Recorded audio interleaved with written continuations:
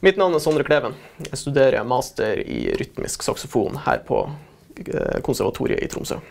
Marius jo en, har jo vært en sånn helt for meg i mange år. Eh, det er jo litt av grunnen eh, til at jeg valgte å studere saksofon videre, er jo fordi at jeg hørte på han Marius. Og har lest et sted at han er blant topp saksofonistene i verden. Så han kommer jo nå hit for å holde klinikk for oss, så det syns vi er utrolig spennende. Våre lærere her på huset har jo ganske mange kontakter.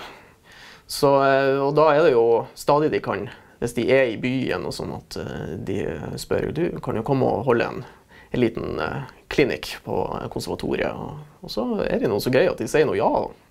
Så vi skal spille en av mine komposisjoner for han da, og, og forhåpentligvis få noen gode ideer til hvordan vi kan forbedre oss det var litt uh, Jeg hadde litt trøbbel med å sove i natt, men om det var pga. det, det kan jeg ikke si.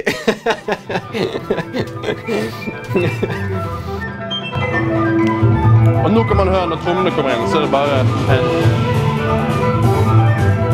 Hvis man tar denne her don, don, don, don, og forestiller seg at de har uh, fire 16 eller dag, dag, dag, dag, dag, dag, dag, dag, dag, dag, dag, dag, dag, dag. Så dag. den her går over fire, da.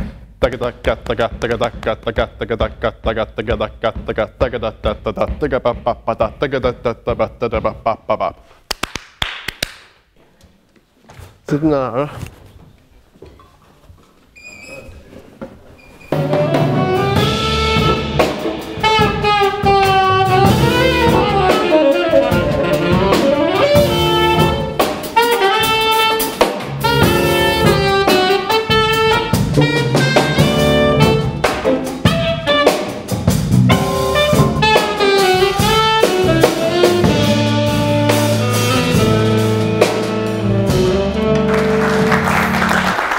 da. får utrolig mye fine linjer når du improviserer.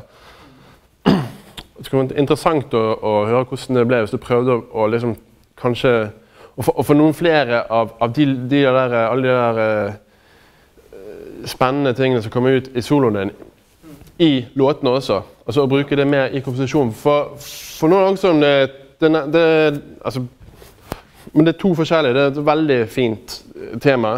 Uh, og så går du solo, så blir du liksom en helt annen uh, Men kanskje bare en, en, en, ting man kan eksperimentere litt med.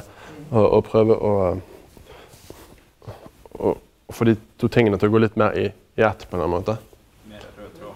Uh, nei, altså, bare jeg, jeg, jeg, føler ofte at hvis jeg sjøl tenker sånn, så blir jeg, opplever at musikken blir mer, mer personlig på en eller annen måte. Uh, når hvis jeg klarer å liksom få meg sjøl som saksofonist og som komponist til å bli en og samme person, på en måte. Nå skal vi sette oss ned og skal vi tenke litt hvordan vi Om vi skal finne på noe, noe tøft på denne låta her og ta med oss videre. Altså. Det skal vi gjøre. altså.